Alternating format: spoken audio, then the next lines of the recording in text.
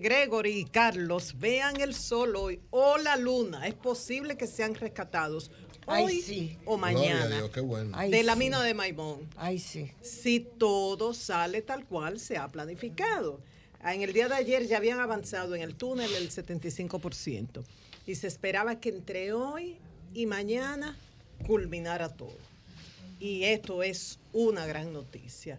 De este hecho, miren, eh, hay que destacar el esfuerzo realizado por la empresa Cormidón. Es cierto, no han escatimado recursos.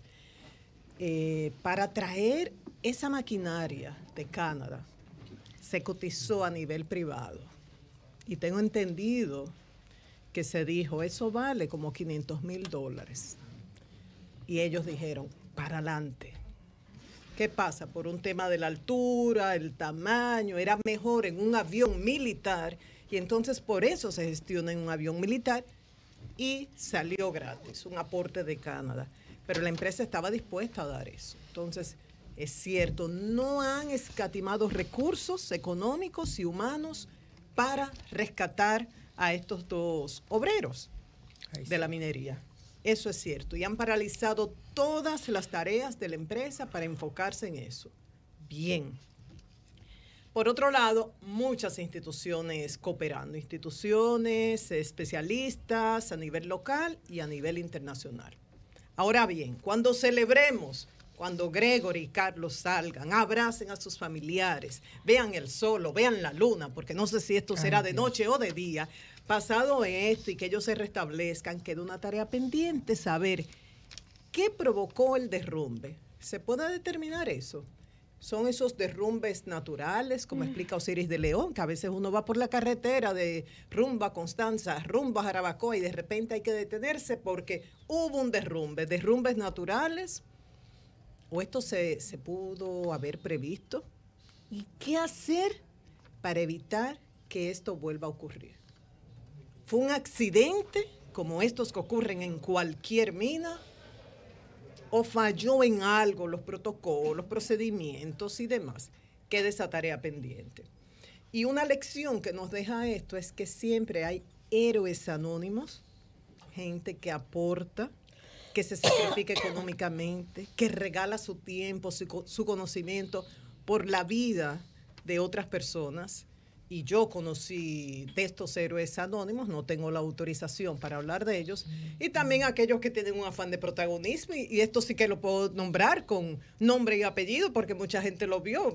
Fue un video que yo creo que se convirtió en viral, el torito el senador Héctor Acosta, ustedes recuerdan ese video, cuando todo el mundo estaba enfocado, señores, cuando el presidente de la República llega a un lugar, a una actividad, toda la atención es para atender, para recibir al presidente, para seguir las medidas de seguridad, el protocolo de que le corresponde a un primer mandatario. Ah, el Torito insistía que él era senador y que él había que, recibirlo y él, él, ah, él fue a cantarle de que después de la tempestad, eh, ¿Y quién le dijo a usted que en ese momento, ok, que eso lo anima, pero explíqueme? Minutos de fama. O sea, ya usted canta bastante, no solamente en las fiestas, en los espectáculos, sino también en el Congreso. Y va a cantarla. Y para mí eso es un afán de protagonismo. ¿Cómo va que Eso, sí. Una animación espiritual. Solidaridad. Afán de protagonismo afán de protagonismo. Que eso es importante, sí. Puede ser que el mismo Osiris de León diga, mira, vamos a traerle a alguien que, les cante para que los anime, o el psicólogo de la empresa, pero en ese momento no procedía. E imponerlo, que en base a que usted es senador y hay que recibirlo, mucho menos. Entonces, eh, Cormidón ha dicho, ya el 75% del túnel se había avanzado. Y esto en un comunicado oficial lo de que puedan ser rescatados entre hoy y mañana, yo tengo la información, pero no está incluida en el comunicado oficial. Ellos agradecen a las instituciones que permitieron traer este equipo de más de 25 mil libras. Eh, eh, señalan al Ministerio de Relaciones Exteriores, la Embajada Dominicana en Chile, la ministra de Relaciones, eh, perdón, en Canadá, la ministra de Relaciones Exteriores de Canadá, Michelle Cohen, sí. Eh, la Defensa Nacional de Canadá, Fuerzas Armadas de Canadá, aduanas, eh, Dirección de Energía y Minas, también el Consejo de Capitanes, que es la Asociación de Pilotos Dominicanos en Estados Unidos, que dice que desde un principio estuvieron participando en la búsqueda del avión privado para traer este equipo. Ellos van a seguir trabajando y dice que han trabajado con más de 70 expertos entre nutriólogos, geólogos, eh, especialistas en geotecnia, en deslizamientos de roca, entre otros. Entonces, vamos a esperar con ansias, con, eh, ya listos para celebrar el rescate de Gregory y de Carlos. Por otro lado, en torno al caso del alcalde Rafael Barón Duluc, alcalde Cholitín, su jefe de seguridad, Alcántara, y el periodista Wilkin Paniagua. Para las personas que sintonizan ahora, Wilkin Paniagua hizo una denuncia que en el ayuntamiento eh, se estaba presionando para que en encuestas que se estaban haciendo, la alcaldía quedara con una mejor posición. El tema es que hay un video que se ha hecho viral también, ya fue pasado una parte, porque tiene tres o cuatro minutos, donde el alcalde amenaza a Wilkin, el periodista, y le dice que Alcántara, bueno, viene de un sector marginado, que tiene problemas, que no tiene control, que le llamaban la brasa, que lo utilizaban para los trabajos sucios, cuando había que darle de baja a alguien, que había matado entre 15 o 20 hombres, que tenía medio cementerio, que tuviera cuidado. Entonces, lo interesante de esto es que el alcalde en ese audio no se refiere a la denuncia no le dice a Wilkin, mira, lo que dijiste es falso. Tienes que aclarar eso, dame el derecho a... No se refiere a eso, sino que le dice que en este país no hay garantía de derechos. Tanto que criticamos a Balaguer con aquello de que la constitución es un pedazo de papel. Y, por lo que dice Choletín, parece que muchos lo ven así. Con tanto orgullo que hablamos de esos derechos fundamentales garantizados en la constitución del 2010, mm. pero este alcalde dice, Cholitín, que no, que aquí no hay garantías de derechos. Entonces, la preocupación del alcalde es que esa denuncia del periodista puede provocar que cancelen, que destituyan a Alcántara. Y que Alcántara en represalia puede matar a otra persona. Ay, Dios mío. O sea, de verdad que no entendemos esto. Por otro lado, en el fin de semana hubo como cinco o seis accidentes mínimos reportados. Y de estos accidentes como siete muertos, cinco heridos. Entonces, ¿cuándo vamos a asumir este tema?